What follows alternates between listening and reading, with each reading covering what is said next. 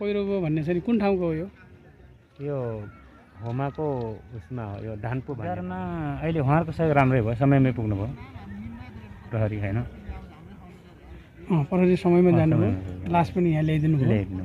अनि बिरामीलाई पनि एउटा भैरवा लाने कुरो भनेपछि यो अहिलेको उद्धार प्रक्रियामा दैवी प्रकोपमा नेपाली सेनाको प्रहरीको चाहिँ.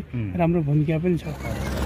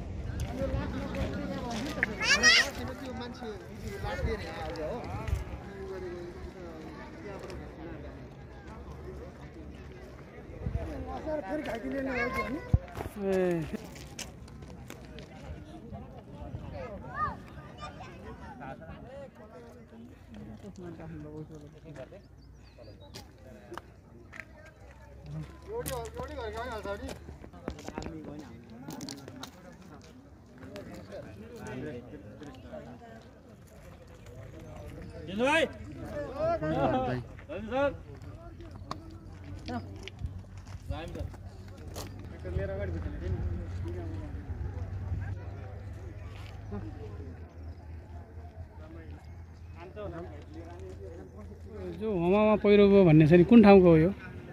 यो होमाको उसमा हो यो धानपु भन्ने ठाउँमा त्यहाँ पुरानो पहिरो पनि थियो कि अहिले नयाँ गएको हो कि थाहा छ पुरानो? पहिरो छैन।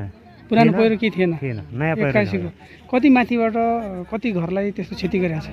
यो पहिरो गएको तलतिर तिनवटा घर छ। दुईवटा घरलाई क्षति पुगेन एउटा घरलाई पुग्यो। अनि यो जतिजना तिनवटा सब ल्याएको छ यो तिनवटै व्यक्तिहरू एउटै घर परिवारका हुन्? एउटै घर परिवार।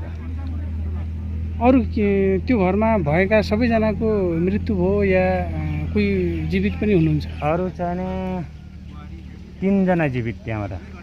तिनजना दुईजनालाई एकजनाले चाहिँ दुईजना छोराले चाहिँ दुईजना जहान र कान्छो छोरालाई तानेर उसले बचायो। हजुर। होइन अरू तिनजनालाई बचाउन सकेन। ए छोरा चाहिँ बाँच्नु भयो? अँ, छोरा बाँच्नु भयो। अनि जो बुढी बित्नु भयो नि मर्नु भयो नि। उहाँको छोरा चाहिँ नि बाँच्नु भयो नाति पनि बाँच्नु भयो बुहारी पनि बाँच्नु भयो। त्योमा घाइतेहरू अरू केही कोही हुनुहुन्छ? घाइतेहरू? हजुर। घाइतेहरू हुनुहुन्छ दुईजना घाइते हुनुहुन्छ।